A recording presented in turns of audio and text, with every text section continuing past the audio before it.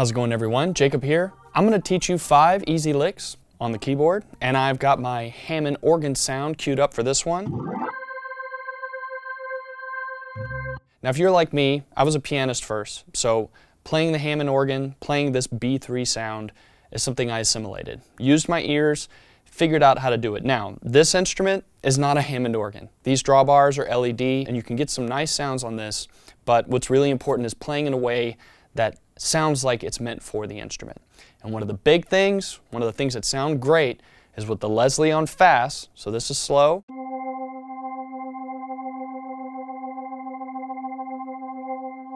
So that was slow to fast, is the big old gliss, that big Hammond gliss that we've all heard.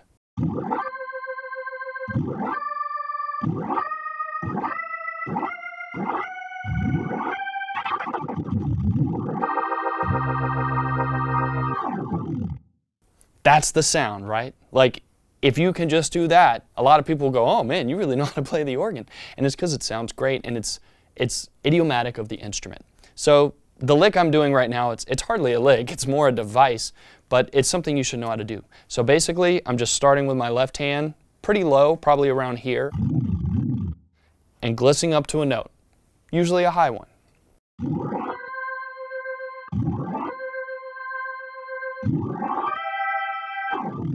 Sometimes you can go up to a chord. Now if I was going to do this in time, maybe I'll just pick kind of a medium-ish tempo.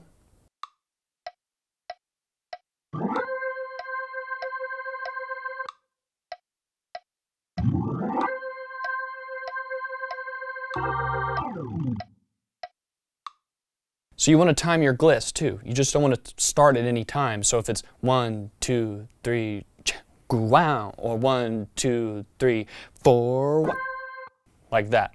So this is a great device. Again, this is something that sounds really good on the instrument, and you can use this kind of sound a lot of ways. You can get real percussive with it. So I'm not thinking about what I'm playing here. It's just, it's kind of just like ham-fisting the keyboard.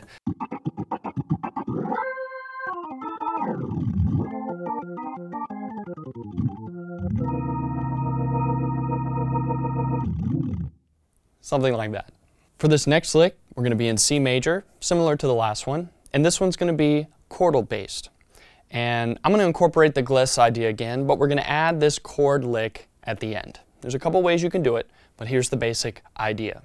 You have a C major 6 chord, what's called a C major 6. So you have C major, let's add a little more drawbars here.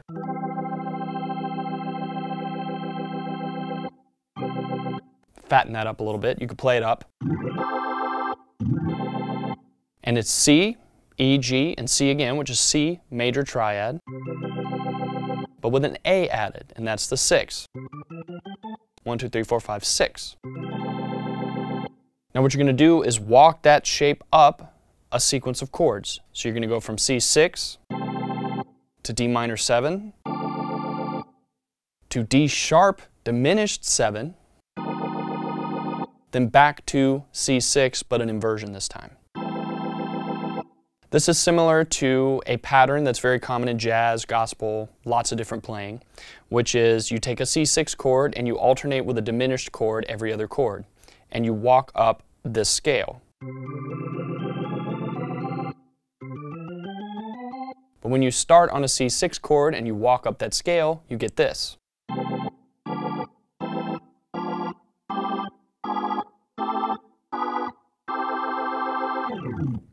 But we're doing a slightly different version of that where we go from C6, but we walk straight up the major scale to D minor 7. Then we hit a different diminished chord here, which is D sharp diminished, fully diminished 7, and back to C6. And you'll notice we're doubling the same note at the bottom and the top. So that's our highest voice. That's like our melody here and then you fill the chords in in the middle. So in time, sound a little something like this.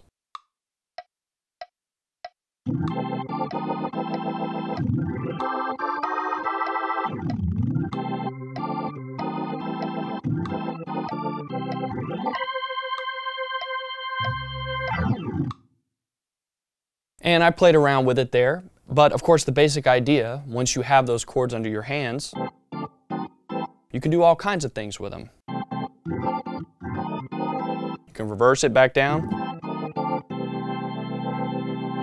So always, when you're practicing these things, practice with a metronome, practice it at a tempo you can play it correctly and consistently before you go faster, and always play around with the rhythm, with the idea itself, and try putting it in other keys.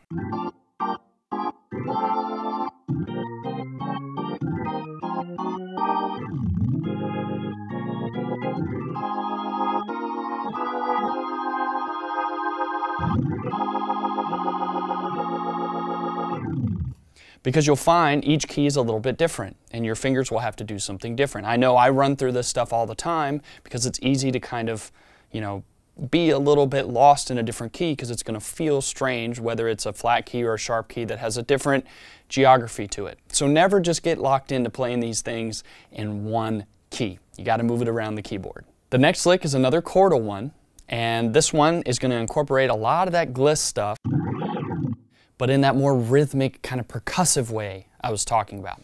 So we're going to stay in C major, but we're going to be C7, so a kind of Mixolydian flat 7 bluesy kind of sound.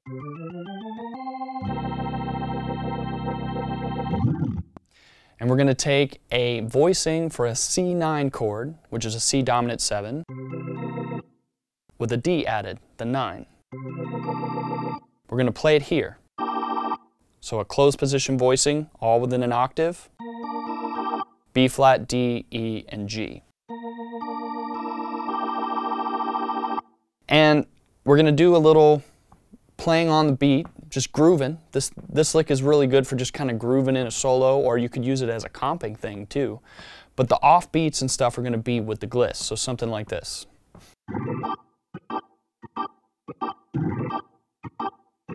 So the rhythm I'm thinking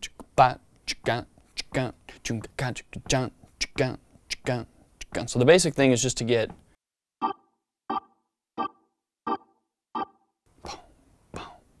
be able to hit that on the beat. Let's do it with the click.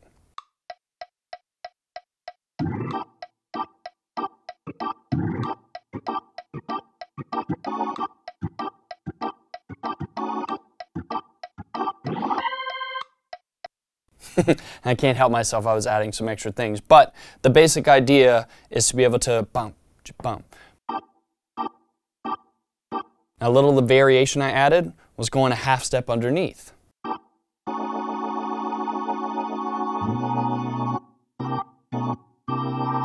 Which is almost like a guitar pattern, comping pattern, but put on the organ.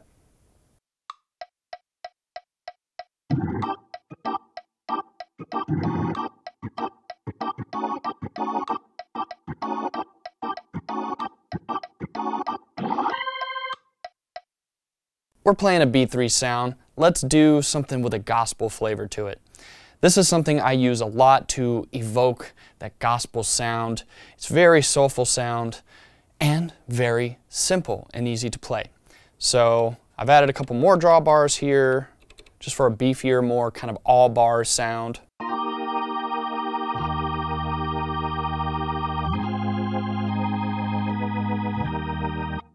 So that's our sound. Now the lick is very simple. It's just two triads. E flat major, and I'm playing this inversion here with the fifth and the bass. And then down to F minor, F minor triad. And what you're going to do is play the inversions of those triads all the way down. So alternating from E flat major to F minor.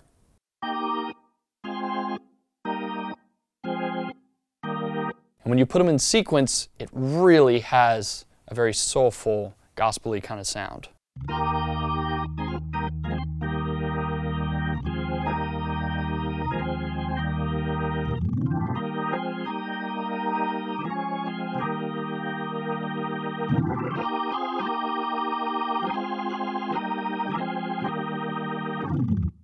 Now I was adding some things there, which you always will do once you get the basic thing under your hand. So once you've got the triads down,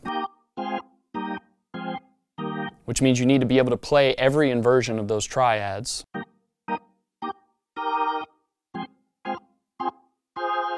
Then you can start adding some nice little tricks, some little grace notes and melodic things in there. So it's not just chords, and this is what I was doing.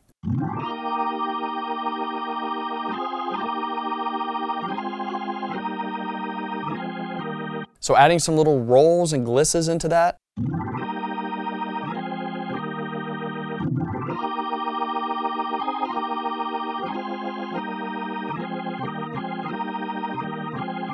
So a lot of it is just doing little, in my left hand, little lead up. So rather than just, it's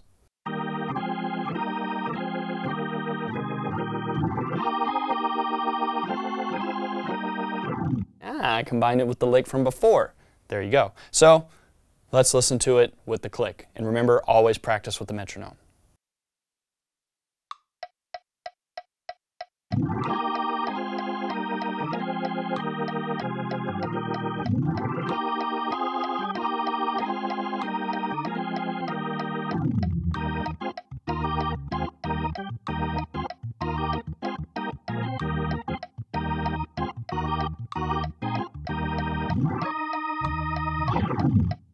Now for the last one, we're going to go to a jazz inflection that would be used in that genre and related ones because Hammond organ, of course, is famous for rock and blues, gospel players, lots of different genres, but jazz is another place you'll find this wonderful instrument, this sound.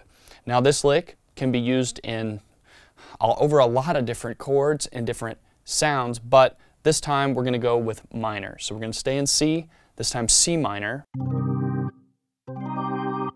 And the lick is starting really anywhere, but right now we're going to start on the third, the minor third. For this lick, you approach each chord tone, that being each note in the C minor triad, by a half step. So really, you're playing the notes of a B minor triad before each note. So it goes something like this.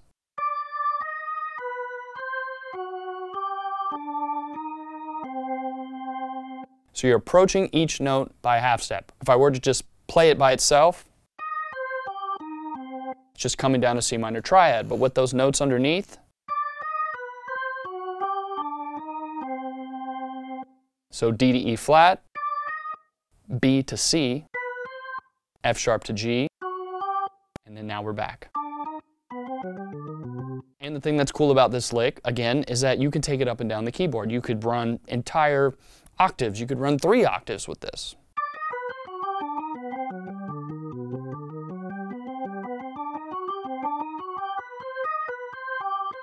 And you can play it down, you can play it up, and it sounds great. Here it is in tempo.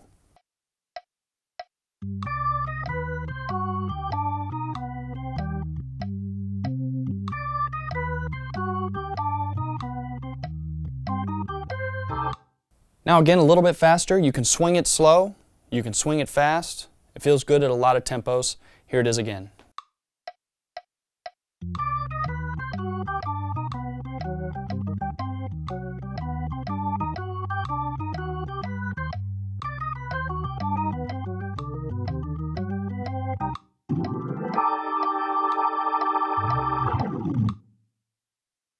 And you saw I changed the rhythm a little bit. Again, something you should do with all of these. Instead of just a do ba do ba do ba do, I did a triplet. Do ba do ba do ba do ba do ba ba do. And that's it. Thanks so much for watching. If you've got any questions about the licks I played in this video, please put those in the comments below. Remember to like, subscribe, click here for more videos like this one, and go to sweetwater.com for all of your music instrument and pro audio needs.